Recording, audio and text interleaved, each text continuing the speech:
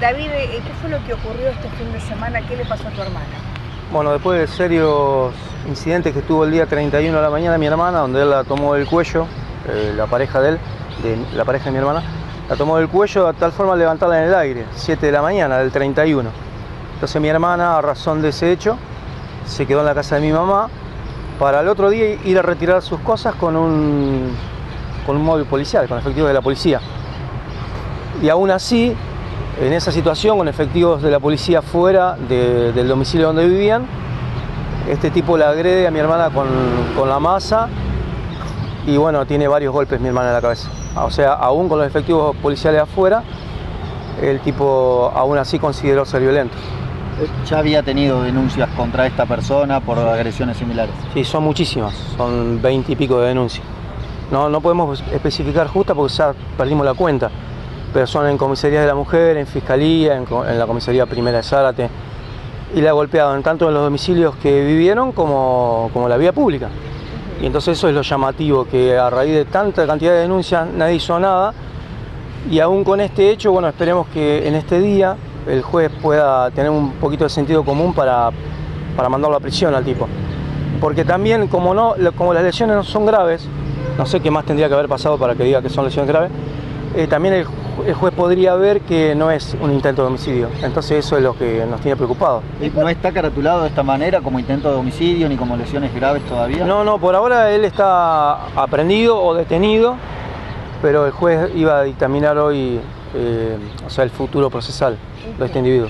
¿Cuáles son las secuelas que le quedaron a raíz de estos golpes? Mira, en principio le hicieron una tomografía, eh, la trasladaron a la capilla porque acá el tomógrafo no, no funciona, pero hay que hacerle otra porque tiene mucho sangrado y está muy hinchada, entonces hay que hacerle otra tomografía para ver si, si no van a quedar consecuencias, esperemos que no. ¿Esto sucedió aquí en la ciudad de Zárate? ¿En qué lugar? ¿En qué punto? Sí, el lugar es conocido. Eh, la dirección es la entrada al Coepan 6, es Antártida, Argentina y calle 50. Es un, un galpón azul, es muy conocido porque se ve cuando vos pasás por Antártida. Y el tipo, ¿Por qué estaban en este lugar? pues el tipo trabajaba ahí, hace muchos años que trabaja ahí, es soldador y ahí es un galpón donde hacen piezas para fábricas, algo así.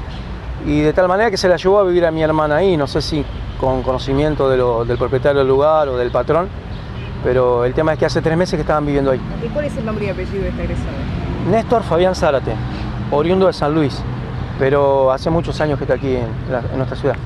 Ella intentó salir de toda esta situación, pero no, no encontró la ayuda Claro. adecuada todavía. Claro, la pregunta inmediata de la sociedad es decir, ¿y qué hace tu hermana con un enfermo de eso? ¿no? Pero no es fácil zafar de una situación así, porque el tipo, la, como tiene una hija en común, la cual presenció el hecho también de los masazos, eh, como tiene una- esa hija en común, él se- siempre se agarra de eso para, para retenerla o para hacerla volver. Y, y ya sea en el domicilio donde estaba, donde la encontrara, o, o en plena calle, delante de la gente, le pegaba.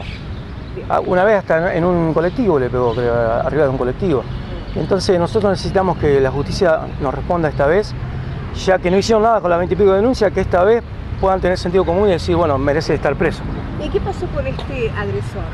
Y eh, él está, como decía David, está prendido, en este momento está prendido y va esperando también lo que le dictamine el juez.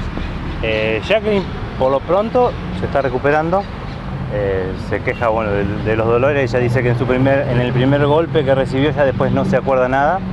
Eh, los chicos de ella están con nosotros, con mi esposa y yo, eh, bien, salvo la niña que cada tanto bueno, recuerda lo que pasa y tenemos que estar distrayéndola porque presenció todo, lamentablemente pudo ver eso y bueno, al terminar el episodio la policía se llevó a, a este tipo al- a la comisaría, pero después cayeron al hospital.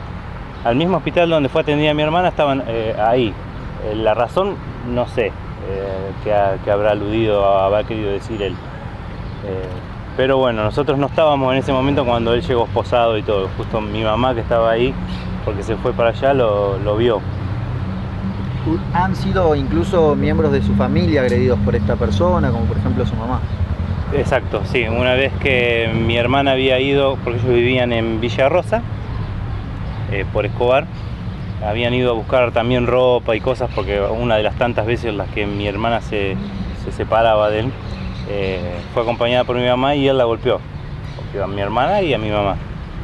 Eh, entonces, bueno, nosotros ya eh, de última habíamos tenido una reunión con él diciendo que, bueno, ella había decidido volver con él. Dijimos, bueno, si es la decisión de ellos, nosotros la respetamos como familia, pero siempre advirtiendo de que si pasaba algo, eh, nosotros teníamos que intervenir. No con violencia, pero bueno, estas cosas no se pudieron, eh, se fueron de control. Más que nada por, por parte de él, porque mi hermana siempre intentó la familia, sus hijos, y, o sea, lo que, lo que corresponde. Más de 20 denuncias y la situación continúa igual. Siempre igual, siempre igual.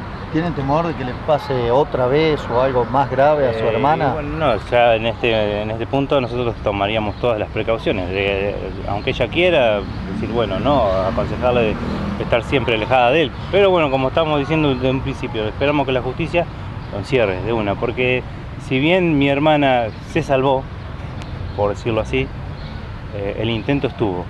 No fue un solo golpe, fueron varios. y mi- ella tiene, además del golpe en la cabeza, toda la cara hinchada, la- los dientes rotos y bueno, no puede hablar, apenas balbucea y tenemos que estar ahí entendiendo todo lo que dice. Eh, lo bueno es eso, que ella se está recuperando. ¿Cómo está. En el hospital Virgen Carmen. ¿Cómo fue la respuesta policial el día del hecho? Y bueno, justo la policía estaba en ese momento ahí. O sea que él fue aprendido, fueron al hospital y después ahí a, a detención. Pero bueno, estamos esperando lo que vaya a pasar con él según el juez. Me imagino que solicitarán ayuda por parte de los psiquiatras. Sí, por supuesto, por supuesto. Sí, eh, bueno, vamos a ver también cómo está ella. Por lo menos lo que nos han dicho los médicos que ha respondido bien a las preguntas. Ajá. A veces se pierde, pero bueno, como nos decían ellos, la situación de los golpes.